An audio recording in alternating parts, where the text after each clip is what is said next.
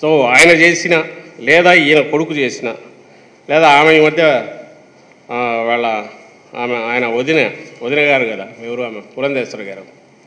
ఆమె ఏపీ బీజేపీని AP TDP మనవరో అంటున్నారు టీడీపీ అధ్యక్షురాల్లో ఆమె ఉన్నట్టుందని ఎందుకంటే స్టాఫ్ గ్యాప్ ఈయన జైల్లో ఉన్నాడు కదా. పేరు బీజేపీ అయినా టీడీపీ అధ్యక్షురాలుగానే వ్యవహరిస్తున్నట్టు కనపడుతుంది అంటే పదవులు వేసినా వేరే అజెండా ఉండట్లే ఆమెకు. ఈ మధ్య కూడా ఏదో ఢిల్లీకి పోయి ఎట్లా అర్జెంటుగా ఆయన ఎట్లా విడుదల చేయించాలనే ప్రయత్నాల్లో కూడా ఉన్నట్టున్నారు ఆమె.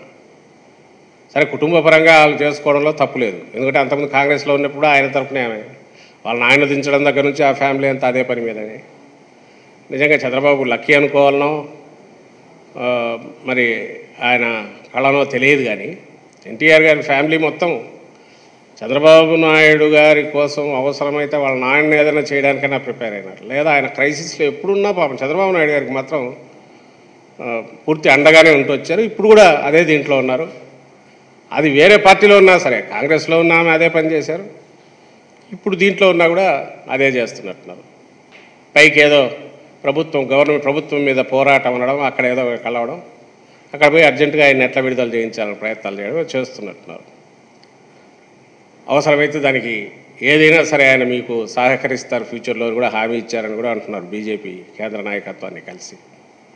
అంటే వీళ్ళకి ఎట్లున్నాయంటే కోర్టు సంబంధం లేదు ఇంకోటి లేదు. అంటే వ్యవస్థలు మేనేజ్ చేయడం అలవాటైన తర్వాత ప్రతిదీ మన మేనేజ్మెంట్ స్కిల్స్ని బట్టే ఉంటుంది కాబట్టి ఏదైనా చేయగలమనే ధీమాతో మూవ్ అవుతూ అన్ని రకాల దానికి సంబంధించిన మేనేజ్మెంట్ స్కిల్స్ అన్నీ కూడా అక్కడ ఢిల్లీ నుంచి ఇక్కడి వరకు ప్రదర్శిస్తున్నట్టున్నారు సో వీటికి సంబంధించినంత వరకు అన్లెస్ ఆ పార్టీ కానీ ఆ పార్టీ నాయకులు కానీ వాళ్ళ వాదనలు ఎవరు ఆ లాయర్లు వినిపిస్తున్న వాళ్ళు కానీ అసలు కే దీంట్లో విషయం ఉందా లేదా? దీంట్లో విషయం ఉన్నప్పుడు దీని మీద నాలుగు మాటలు మేము చెప్పి ఇలా లేని దాని మీద వీళ్ళు క్రియేట్ చేస్తున్నారు. పైగా ఈ సెక్షన్ కూడా దీనికి అప్పగా అంటే ఏదో ఒక దానికి ఒక ఆర్గ్యుమెంట్కి ఒక వాల్యూ ఉంటుంది. అసలు దాని జోలికే పోవట్లా. దాని నుంచి వాళ్ళన్నా ఇది కావాలి. లేదు ఇక్కడ వాళ్ళకు నిజంగా ఉంటే దీని మీద డిస్కషన్కి వాళ్ళు రెడీగా ఉన్నా సరే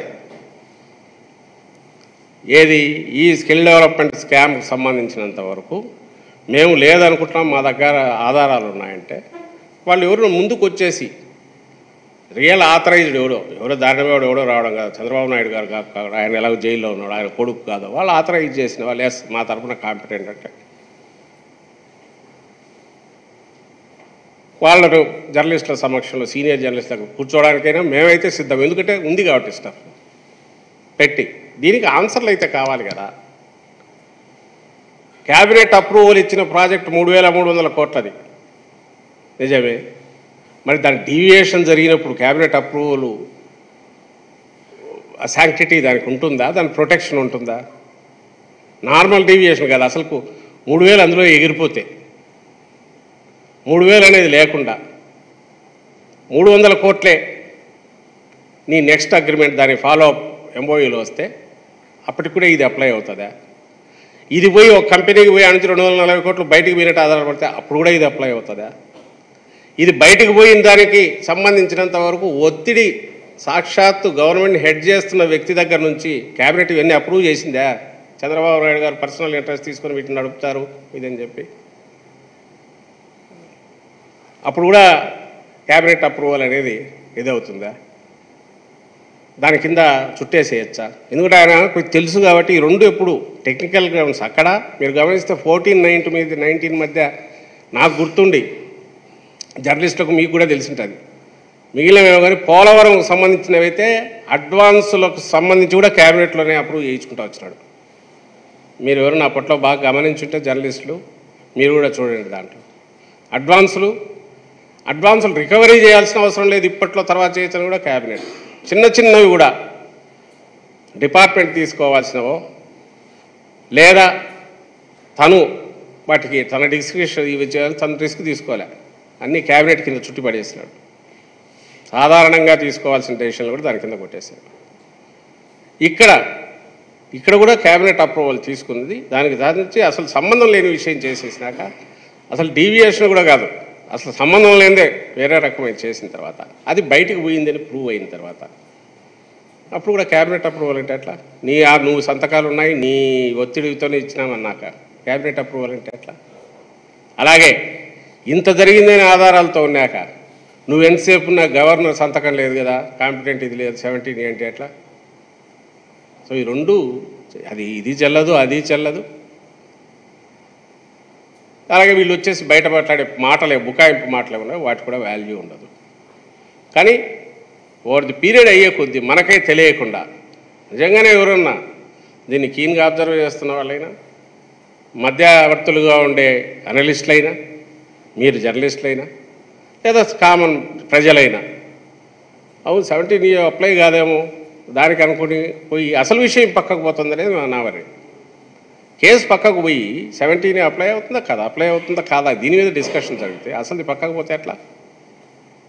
అసలు విషయం నేను ఇంతకుముందు మళ్ళీ repeat at the cost of repeating it మళ్ళీ మళ్ళీ చెప్తున్నది. బహుశా దేశంలోనే అత్యంత అరుదైన వాటిలో అరుదైన లేదా ఇలాంటిది ఒకటే ఉంటుందేమో. గాలిలో అది కూడా మేడ ఉంది కదా అని చెప్పి దానికి సంబంధించి తీసుకోవడం డబ్బులు తీసుకోవడం. ఈ బంగారు ఇస్తానని చెప్పి ఎవడన్నా వచ్చి కొట్టేసేవాడికి దీన్ని మార్చేస్తాను ఈ టేబుల్ బంగారు చేస్తాను ఇంకోని బంగారు చేస్తాను నీ ఒళ్ళంతా బంగారం చేస్తాను అనేసి భ్రమలో పెట్టి డబ్బులు కొట్టేసేవాడికి దీనికి తేడా లేదు. కొట్టేసేవాడే యజమాని ధర్మకర్త అయితే ఇంకా అది ఎంత ఘోరం అనేది ఆలోచించాలి. మోసగాడు ఎప్పుడు ఉంటాడు. వాడు టెంపుల్ దేవాలయాన్ని కొట్టేస్తాడు. ఒక వ్యవస్థను దీంట్లో ఇచ్చేస్తాడు. వాడు ఎప్పుడు ప్రయత్నం చేస్తుంటాడు. దాని నుంచి ప్రొటెక్ట్ చేయాల్సిన వాళ్ళు ప్రయత్నం చేస్తారు. కానీ నిన్ను నమ్మి ధర్మకర్తగాను వ్యవస్థ మొత్తానికి స్టేట్ హెడ్గా పెడితే నువ్వే దొంగతనం ప్లాన్ చేసి యజమాని దొంగతనం ప్లాన్ చేసి తనే దాని నుంచి డైవర్ట్ చేసి బయటకు పంపించి అది కూడా మొత్తం నిలువుదోపిడీ చేసేస్తే దాన్ని ఎట్లా చూడాలి? ఏమీ లేని దాంట్లోంచి లేని ప్రాజెక్టులోంచి. అసలు చేయాల ప్రాజెక్టు లేదు. అండ్ చేయాలని అనుకోవాలి? దానికి సంబంధించి చేయడం అనేది ఎట్లా చూస్తారో దీన్ని కూడా అలా చూడాలనేది మా విజ్ఞప్తి.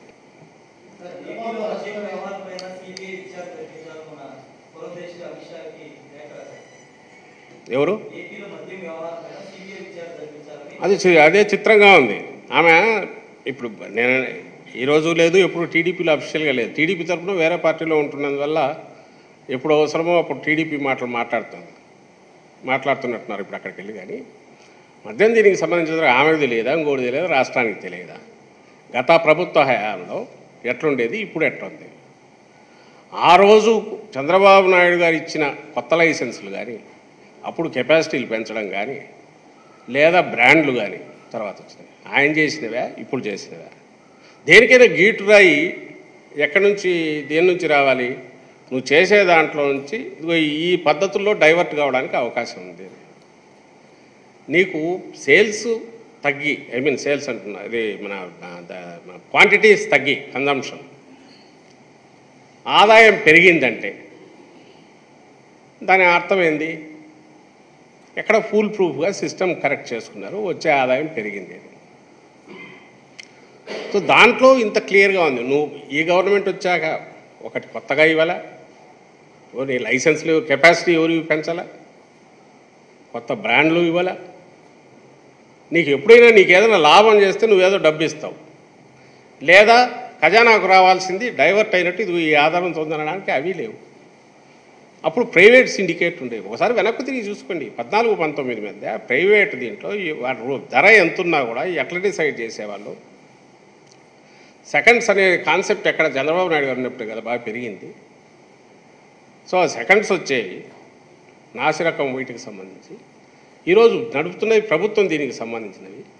పేమెంట్ డిజిటల్ ఉన్నాయి క్యాష్ అన్నీ నడుస్తున్నాయి. అక్కడ అంటే ట్రాన్స్పరెంట్గా ఉంది. ఇంకో పక్క సేల్స్కి సంబంధించినంతవరకు తగ్గుతున్నాయి. ఆదాయం పెరిగింది.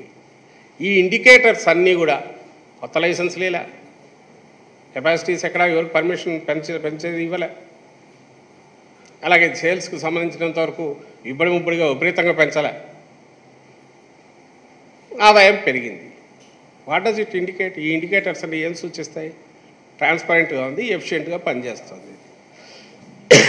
దీని మీద ఎవరు ఎన్ని ఎలిగేషన్స్ చేసినా అవి కావాలని వాళ్ళ సొంత ఏదో డైవర్ట్ చేయడానికో లేదంటే పొలిటికల్ దీంతో చేసినట్టు ఉంటుంది. ఈమెకు ఉన్నట్టుండి ఇప్పుడు హడావుడిగా వెళ్ళి అక్కడికి వెళ్ళి ఢిల్లీ వెళ్ళి దాని మీద సంబంధించి ఏదో ఇచ్చేసేయడం కూడా అంతకుమించి అయితే కనపడించట్ల వాళ్ళ సొంత అజెండా ఏదైతే ఉందో దాన్ని ఎగ్జిక్యూట్ చేసుకోవడానికి పోయినట్టున్నారు. పైకి చెప్పడానికేమో ఇదేదో వీటిని ఇచ్చినట్టున్నారు. టీడీపీ వాళ్ళు అదే పాట పాడుతున్నారు. అదే ఇసుక కూడా అంతే. వాళ్ళు ఏం మాట్లాడినా రెండు మూడు అంటారు. సంవత్సరానికి దాదాపు ఎనిమిది వందల కోట్లు ఇంతకుముందు రానిది ఇప్పుడు కొత్తగా వస్తుంటే అలాగే రేటుకు సంబంధించి ఫిక్స్డ్ రేట్ చేసి పేపర్లో ప్రకటనలో ఇచ్చి ఫోన్ నెంబర్లో ఇచ్చి అక్కడికి ఫోన్ చేసి ఇచ్చేయచ్చు అన్నాక ప్రతిదీ ఫిక్స్ చేశాక నీ హయాంలో అయితే ఫ్రీ నువ్వు అన్నప్పుడు ఫ్రీగా ఎక్కడన్నా దొరికిందా? పోనీ మీరు చెప్పండి జర్నలిస్టులు చెప్పండి లేదంటే ప్రజలను చెప్పమానండి. లేదా ట్రాన్స్పోర్ట్ మాత్రమే కాస్ట్కే దొరికిందా? గవర్నమెంట్కి రావాల్సింది రాలా? అండ్ ఎవరు మీ కన్జ్యూమర్స్ ఇక్కడ ఈ స్టేట్లో ఉండేవాళ్ళే? అప్పుడు ఫ్రీగా రాలా? మరి ఆ డబ్బంతా ఎక్కడికి పోయింది? ఎవరు తిన్నాడు? మరి ఆ మేరకు స్ట్రైట్ చూస్తే నేరుగా సంవత్సరానికి ఎనిమిది వందల దాదాపు ఎనిమిది వందల కోట్లు అంటే ఇప్పుడు మూడేళ్ళు నాలుగేళ్ళు ఫస్ట్ ఇది తీసి ఇచ్చేస్తే ఈ మూడు వేల కోట్లు మూడు వేల రెండు వందల కోట్లు మూడు వేల ఐదు వందల కోట్లు ప్రభుత్వానికి వచ్చిన ఆదాయం తీసి పెడితే దీంట్లో నువ్వు స్కామ్ అంటే ఎట్లా? కండక్ట్ చేసేది నేషనల్ లెవెల్ ఏజెన్సీ. రామోజీరావుని పార్టిసిపేట్ చేయొద్దంటారా? రాధాకృష్ణన్ పార్టిసిపేట్ చేయొద్దంటారు? వీటన్నిటిలో కూడా పార్టిసిపేట్ చేసి ఉండొచ్చు వాళ్ళు. వాళ్ళే తీసుకుండొచ్చు సో దీంట్లో ఎక్కడ రహస్యమో దాచిపెట్టిందో ఎక్కడ ఉంది. స్ట్రైట్ గవర్న ప్రభుత్వ ఖజానాకు ఆదాయం పెరిగింది. ట్రాన్స్పరెంట్గా ఉంది. డ్యూ ప్రాసెస్ ఏం జరగాలో అదంతా చేసినప్పుడు దాని మీద బురద తల్లి ఇది చేయాలంటే పొలిటికల్ తప్ప వేరే ఏముంటుందని మేము ప్రశ్నిస్తాం.